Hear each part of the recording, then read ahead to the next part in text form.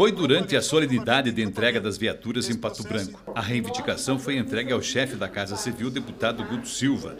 O documento está assinado por representantes de 20 entidades de Pato Branco, entre elas clubes de Rotary e Conselho Municipal de Segurança. A proposta do documento que foi entregue é um presídio regional, é, nos moldes de, um presídio que o pessoal possa trabalhar nele, né, como já tem no Paraná para que se realmente atinja o objetivo que é a reeducação. Do jeito que está a nossa cadeia pública, não reeduca ninguém, os, o pessoal do DPEM não consegue fazer um trabalho é, muito bom e, e, o pior de tudo é que está sendo prejudicial e a comunidade de Pato Branco que corre o risco de sofrer as consequências. Hoje a gente percebe que é uma situação emergencial já e uma preocupação muito grande da população patobranquense com essa situação de, da cadeia no centro da cidade.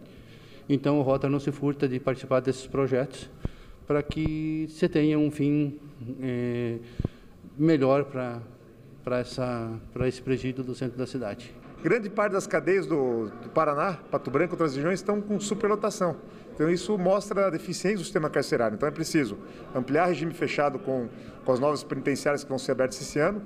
E aqui em Pato Branco, na, na região de Pato Branco, nós estamos trabalhando em Vitorino para comportar uma unidade é, penitenciária para poder desafogar o sistema.